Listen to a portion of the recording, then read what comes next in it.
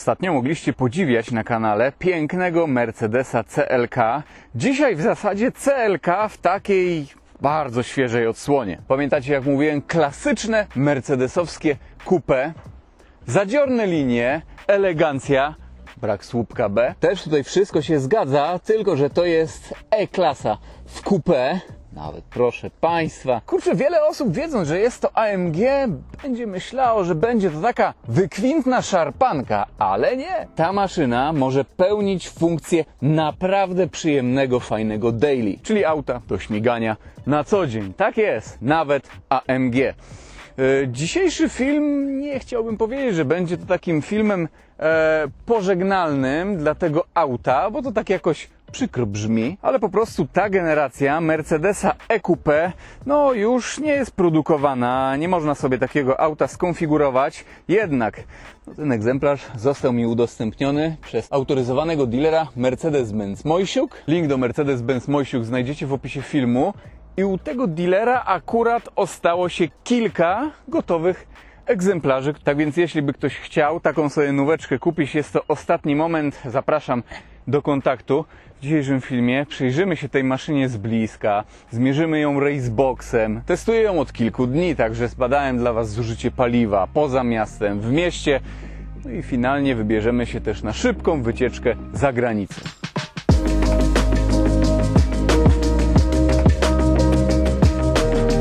Ale smacznie! Mercedes AMG E53 Coupe. Auto furczy, burczy, odpycha się fajnie i w dodatku jest to miękka hybryda. Ale taka fajna miękka hybryda, której układ jakby nie przeszkadza kierowcy, jakby to ująć, nie ujmuje frajdy. No w ogóle w skład tego układu wchodzi 3-litrowa, uturbiona, benzynowa, sześciocylindrówka. Hmm, jaki będzie następca Mercedesa EQP? Oj, nie wiem, ale podejrzewam, że w wersjach AMG będziemy mieli już tam cztery cylindry. Jeśli chodzi o wygląd zewnętrzny, e, względem poprzedniej generacji, tutaj C238, po prostu wydaje się jakby taka gładsza troszeczkę. Aczkolwiek, no panie drogi, jest to bardzo zgrabny samochód. Jeszcze jak mamy tutaj e, wersję AMG, czy tam nawet jak normalną taką E-klasy kupimy w pakiecie AMG, też to jest wiele takich e, urozmaiceń, czy tam powiedzmy takich akcentów. Auto jest bardziej pff, przypakowane. No, prawdziwe AMG, no to co, tutaj mamy takie końcówy wydechów, cztery. Jeśli chodzi o te końcóweczki, ale tutaj się zagłębiam, proszę, z tej strony, z tej strony. Dupka bardzo zgrabna, też takie mamy tutaj bioderka z jednej i z drugiej. Ej, gdyby tak tutaj napisać S63? O tak, to jest właśnie ta linia stylistyczna SQP, EQP tej generacji. Dopatrzymy się tutaj wspólnych cech. W ogóle może otworzymy sobie okna? Prawdziwe mercedesowskie coupe, proszę. Też tutaj jest podajnik na pasy. Pas są nawet czerwone, AMG. Tak na drugi wóz chciałbym takiego EQP. Nawet myślę z dwulitrowym silnikiem pod maską by był fajny to wóz. Po prostu mega cieszy oko. Dobrze to wszystko się prezentuje, wygląda, jest przyjemne odbiorze. Jeśli chodzi o felgi 20 cali, z przodu opona 245 na 35 Zobaczcie, są one tutaj też takie gładkie, ten rand jest tak wyciągnięty. Tutaj w środku jest czarny mat, z zewnątrz mamy też polerowany rancik taki maleńki. Zaciski, bodajże czterotłoczek. Z tyłu mamy też 20, rozmiar opony 275 na 30 Oczywiście oświetlenie. Mamy tutaj LEDowe całe, mamy też powitanie i tak dalej. Te wszystkie LEDy się odpalają, gasną. Wiecie, zakończono produkcję EQP dopiero, więc jest to wciąż nowoczesny samochód. Widać, że jest to polift. Szczególnie najłatwiej chyba to poznać po prostu po reflektorach. Tam były takie troszeczkę większe, takie łezki jakby. Reflektory multi-beam LED, bardzo ładnie w nocy świecą, wycinają. Zderzak też jest tutaj trochę inny niż w przedlifcie.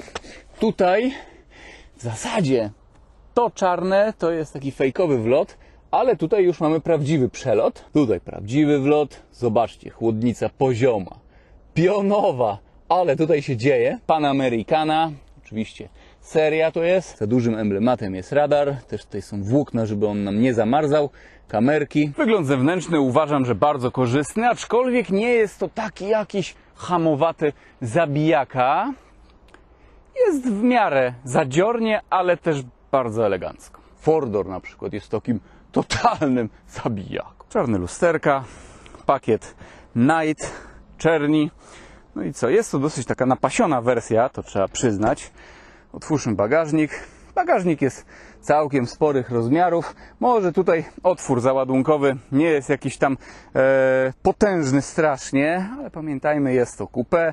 Też to jest troszeczkę wyżej próg, ale coś za coś, coś za coś. Mimo wszystko jest tutaj kawał bagażnika, zobaczmy pod spód. A tutaj skrzyneczka, tu też jakieś szpargały możemy sobie pomieścić. Zamykamy. O, nawet nie trzeba tutaj otwierać drzwi, żeby zajrzeć, żeby to wszystko ładnie Wam pokazać. Proszę, przestrzeń pasażerska z tyłu. Wiadomo, jest to coupé, także tutaj dwumetrowiec za dwumetrowcem, a zresztą zobaczymy. Fotel wyregulowany jest pode mnie, 198 cm wzrostu. Ej, no wiadomo, no jest tutaj trochę ciasno, ale ogólnie się mieszczę. Ud raczej tutaj nie wyprostuję, żeby schowały się za fotelem. Nie chcę tutaj wyginać, ale tacy po 185 wzrostu yy, pasażerowie tutaj by się myślę, pomieścili. No widzicie, trochę tutaj na głowę jest mniej miejsca, ale ogólnie się mieszczę. Wiecie, nie wymagajmy też nie wiadomo czego od takiego coupé, no bo nawet w swoim CL63 AMG średnio z tyłu się mieściłem, no ale jest tutaj więcej miejsca na przykład niż 911 czy tego typu autach. Dobra, fotel niech się tutaj złoży, a w tym czasie może boczek drzwiowy, skóra, miękko, karbon prawdziwy i bardzo to widać, jak się tak światło od niego odbija. Może tam po tym wewnątrz będzie to dobrze widać, ale widać normalnie pod tym klarem fakturkę całą. Tutaj skóra bardzo przyjemna, miękka w dotyku i tutaj no, tu jest twardy plastik, aczkolwiek prawie się nabrałem. Wygląda bardzo dobrze. Jest rok 2023, ja bym się tutaj akurat tego nie czepiał. Wiele samochodów tak będzie miało. Fotele AMG, Duma, fajne są te smaczki, takie aluminiowa wstaweczka, przeszycia, czerwone, czarna skórka, fotele podgrzewane, wentylowane, z masażami, oczywiście w pełni elektryczne, z pamięcią, audio Burmestera, ładnie tutaj gra, ale też te obudowy głośników, jak to ślicznie się prezentuje. Zamykamy. Regulacja fotela nie jest ona taka jak w najnowszych Mercedesach, że tam jest wszystko tylko dotykowe. Nie, tutaj po prostu o, przyciskamy wszystko. Mnogość płaszczyzn do regulacji. Odpalmy sobie ten samochód. A, burczy, burczy, burczy, burczy. A wiecie co? Skasiłem. I zobaczcie, teraz jak się na przykład odpali ten samochód, czekajcie, kolanem sobie pomogę? Nie. Albo tak. Jak tą manetkę przyciskamy i odpalamy, słuchajcie. Z taką przegazówką wtedy AMG odpala. Tak jest chyba w każdym Mercedesie AMG. Nie wiem, czy o tym wiedzieliście. Widok z perspektywy kierowcy. Kierowca tutaj nie powinien narzekać. Dobrze się tutaj w tym wnętrzu będzie czuł. Proszę. Bez słupka B. Coś pięknego, naprawdę coś pięknego. Deska rozdzielcza, cała jest obszyta w skórze, aż tutaj po podszybie. Jest miękka, tutaj jest też miękko. Tutaj jest akurat twardo, ale to też jest skórka. Jeszcze dywaniki, bardzo fajnej jakości. No i kierownica z podcięciem, emblemat AMG gruby dość dźwieniec, bicepsy powiedzmy średniej wielkości, gładka, perforowana skóra, sześć ramion, właściwie trzy ramiona, ale takie podwójne. Zobaczcie, o, tutaj manetki. Mamy tutaj masę różnych takich przycisków. Tutaj cztery gładziki takie. O, tutaj nawet od tempomatu, głośność. I tym gładzikiem steruje się tym ekranem. Wszystko tutaj możemy sobie pod siebie skonfigurować. W ogóle właśnie, zużycie paliwa od razu Wam pokażę, jakie tutaj mam z moich, z mojego użytkowania takiego prawie 300 km, 9,1 litra. Ze 100 km z tego było zrobione na trasie, reszta po mieście. Kurczę, 450-konne AMG i to 3-litrowa, 6-cylindrowa benzyna pod maską. 9 litrów. O, wprawdzie nie jeździłem jak zwierzę, ale wiecie. Tutaj jeszcze wciśniemy sobie na przykład domek. A jak w takich, jak w E-klasie, po lifcie, no takie mercedesowskie to wszystko typowe. Wyświetlacz HUD, nie wiem czy coś widać, widać trochę, dzisiaj fajna pogoda to widać. Lubię właśnie taką pogodę. Nie znoszę jak świeci słońce, bo to wszystko potem prześwietlone. Widok klasyczny, super sport. No i subtelny jeszcze tam jest, a już nie będziemy włączać. Oczywiście też mamy tutaj obszary tematyczne. Jak sobie w dół zejdziemy, no to proszę, możemy sobie ustawić tak pod podróż wszystko, żeby e, nam się tu wyświetlało, ustawiło wypoczynek, standard, przeżycie, tor wyścigowy. Możemy sobie stworzyć swój taki tchem, znaczy tchem, obszar tematyczny. Tutaj już było pełno testów świeżych Mercedesów, no to możecie sobie cofnąć. Wszystko to jest tutaj takie samo. AMG, silnik, zużycie Dynamic Select. Oczywiście to wszystko pod siebie możemy wyregulować. Tryby jazdy. Jeśli chodzi o tryby jazdy, no tutaj ślisko, Individual, Comfort, Sport, Sport Plus i Race. Co do śmigania tym autem na co dzień, warto sobie śmigać w trybie Comfort. Wtedy wszystko myślę, że jest takie optymalne, takie miękkie, takie przyjemniejsze. Jest tutaj pneumatyczne zawieszenie, które możemy sobie możemy podnieść cały samochód. E, reguluje się prześwit zależnie od trybu, ale też tutaj, gdy weźmiemy tryb individual, to mamy tutaj też tryb żeglowania. I w tym trybie żeglowania samochód nam się e, wyłącza w czasie jazdy oczywiście, no bo miękka hybryda. Odpuszczamy, auto się toczy, silnik się wyłącza. Rozrusznik alternator trybu start-stop, czy tego włączania i wyłączania w ogóle praktycznie nie czuć. Wszystko to jest ładnie, jakby to ująć, zoptymalizowane. Dobra, na razie wrzućmy tutaj tryb też to jest masa podświetlonych rzeczy. Piękne są te okrągłe e, krateczki nawiewów, nawet przycisk, te manetki. No jest tutaj taka dbałość o e, szczegóły. No i ten karbon, zobaczcie, o, stąd dobrze widać, że tutaj normalnie jest cała fakturka. Tutaj fizyczne przyciski jeszcze. Proszę, panel klimatyzacji. Mamy tutaj oczywiście też zapachy, akurat tutaj jest wyjęty, ale są. Słowek od razu jest miękki. To tutaj jest akurat twardo, ale jest ok. Jakość powietrza. Mamy nawet jonizację. Ładowarka indukcyjna NFC, proszę napisane, ale też USB-C. Wszystko to jest gumowane. Kolejny panel przycisków. Tutaj wydeszek na szybko. Start-stop. Asystenci parkowania, kontrola trakcji, zmiana sztywności zawieszenia, ustawienia skrzyni biegów. Wiecie co? Nawet jest tutaj tryb drift. Jest tutaj napęd na wszystkie koła, Formatic Plus, ale tak możemy sobie tutaj włączyć tryb drift. Podsufitka czarna. Proszę, wielkie panoramiczne okno dachowe. Jest tutaj oczywiście też taka zasłonka. No ale przecież szkoda tutaj ją wyciągać. Gasimy, zajrzyjmy jeszcze pod maskę. Jakoś szkoda, że ta generacja E-klasy w kupę już nie będzie produkowana. 3-litrowa, turbo doładowana jednostka benzynowa, 6-cylindrowa, ale oprócz turbiny mamy tutaj też taki elektryczny kompresorek, tak to się jakoś nazywa, taki EQ Boost. Łączna moc i moment obrotowy to 457 koni mechanicznych oraz 520 Nm.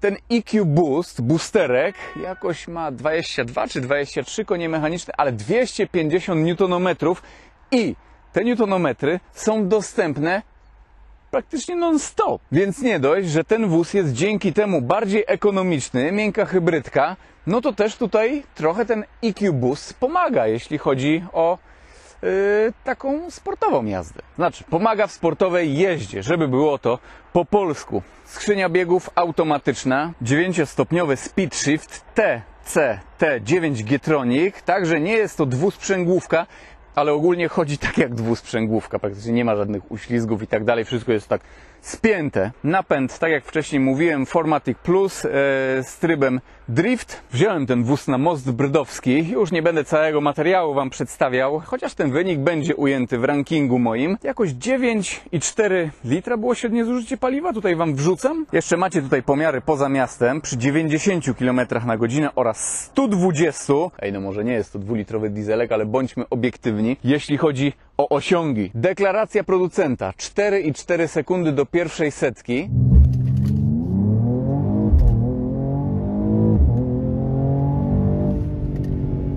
A prędkość maksymalna to podobno 250 km na godzinę. Tylko tutaj jeszcze jedna taka istotna sprawa. Można sobie dokupić AMG Driver's Package. I wtedy prędkość maksymalna jest wyższa. Kaganiec jest przesunięty z 250 na 270 km na godzinę. Myślę, że trzeba to sprawdzić pilnie, szybciutko. Jesteśmy na miejscu, palimy maszynę i posłuchajmy jak ona brzmi.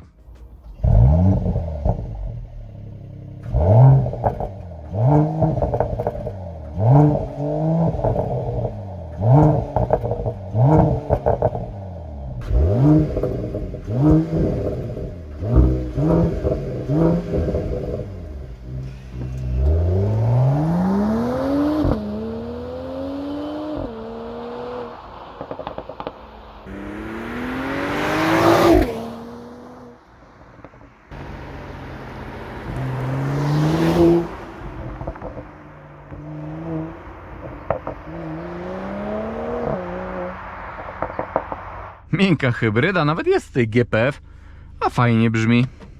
Dobra, lecimy na razie w trybie individual. A, spokojniutko, spokojniutko. Później sobie wrzucimy tryb race. Race boxik, co tam na przejściu granicznym w Kołbaskowie. Dzisiaj w miarę spokojnie. Taka pogoda jakby zaraz miało padać. Już wiem, że w tym tygodniu kilka aut niestety będzie musiało zostać przełożonych ze względu na warunki pogodowe. Ale wciąż jest ciepło. 18,5 stopnia na plusie. Klima wyłączona. I co, możemy startować? A damy sobie szybko tryb race jednak od razu.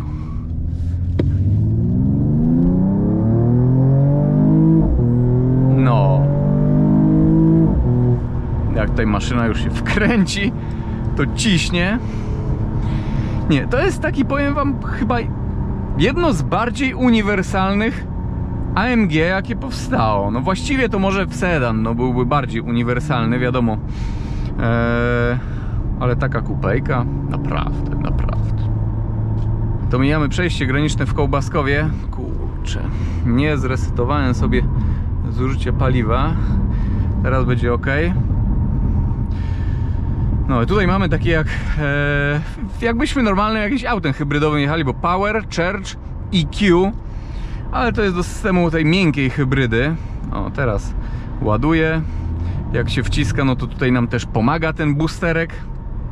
Bardzo ciekawie jest to rozwiązane. Boczny wiatr dzisiaj mamy. Przejście graniczne w Kołbaskowie minęliśmy. Co, tryb race? Wszystko ok.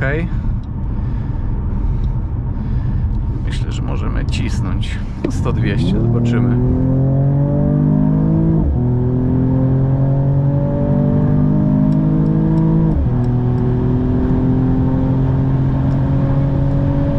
Paka 9 do pierwszego wiaduktu.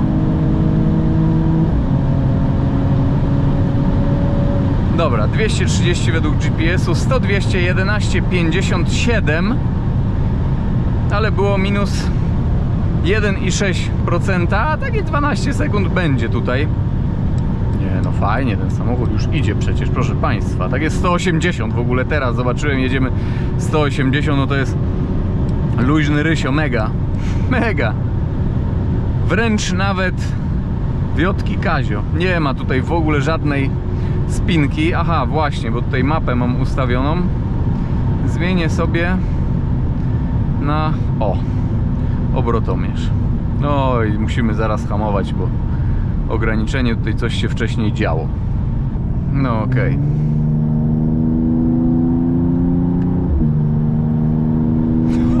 Ale brzmi, ale brzmi.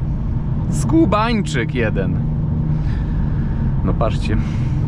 Takiej E-klasy w kupę nie było z V8 pod maską. Jest ona oparta na płycie podłogowej Wcześniej E-klasa Coupe była oparta na płycie podłogowej C-klasy, ale tutaj jest na płycie modułowej, która jest wykorzystana w C-klasie, E-klasie, S-klasie. Już jest troszeczkę inaczej. No, tutaj 200-250 też będziemy musieli sprawdzić, jak tam zużytko. O, zmieniłem. Dobra. Zaraz zobaczymy. Chyba tutaj 200-250 sobie pomiar za chwilę zrobimy. Coś mi się tak wydaje. Najpierw zrobimy sobie pomiar chyba 200-250, a później 100-200.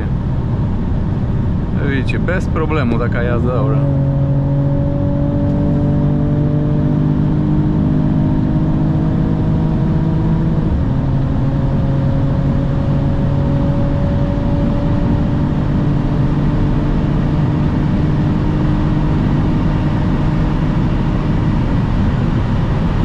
O cholera. Myślałem, że tutaj jest 270 kaganiec, ale nie, 249 według GPS-u. Kurczę, że te 250 nie jest dokładnie. Patrzcie. Ósmy bieg.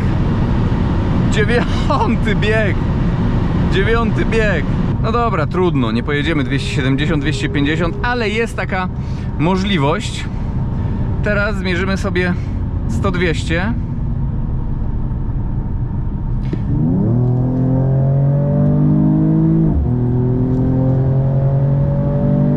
No i dobre. O, lekko z górki będzie, ale to nic. O, pozdrawiamy tutaj Cole albo policję. Minus 1,2%, 12 i 15. Tak to wygląda. No także patrzcie. W miarę ekonomicznie, w miarę dynamicznie, bardzo komfortowo i bardzo ekskluzywnie. Cholera, tak jak powiedziałem, tak jak powiedziałem, to jest mega, to jest po prostu taki all-rounder do wszystkiego samochód, do wszystkiego praktycznie. No, no do offroadu tylko, nie i na bezdroża. No. Okej, dam sobie tutaj tryb sport, nie, komfort i sprawdzimy prędkości obrotowe. O, wszmylnie jeszcze soundcheck i końcóweczka. To co? Takie 140 km na godzinę. 140, no to mamy tutaj 2003 obroty. Jezu, a 120? Przy stówce chyba dziewiątka nawet się nie wbije, za niskie obroty były. 120 no to tutaj 1692 a powiem wam, pięknie działa ta skrzynia biegów, bardzo szybko Czekajcie, wyprzedzimy tutaj ciężarówkę, nie chcemy nikogo blokować. Bardzo szybko, fajnie trzyma te biegi. Kurczę, jak dwusprzęgłówka ktoś by pomyślał. Ciekawe. 100 km na godzinę. No jest dziewiątka. To 1422. To zjeżdżamy na Szmyln. Kojarzy mi się ten samochód troszkę z BMW M340i. Też ona z X-Drive'em, też miękka hybryda. Też jest bardzo taka uniwersalna, taka przyjemna do korzystania na co dzień. To nie jest tak, że tutaj będzie nami, nie wiem, miotało i szarpało. Chociaż gdy tego chcemy, możemy oczywiście tutaj sobie pośmigać. Patrzcie, nawet tryb drift tutaj jest. Nawet tryb drift w ogóle. Ho, ole strzelił. Oj, głośno. No, raz tak głośno strzelił, a teraz nie. Tak różnie. No i dobra, dzida. Ja. Fajnie. Fajnie. No nie mogę wywołać tego, żeby taki huk był jak wcześniej. Elegancko, mimo wszystko, naprawdę. No ja osobiście nie chciałbym, żeby tutaj były cztery cylindry, no ale zobaczymy, co przyniesie przyszłość.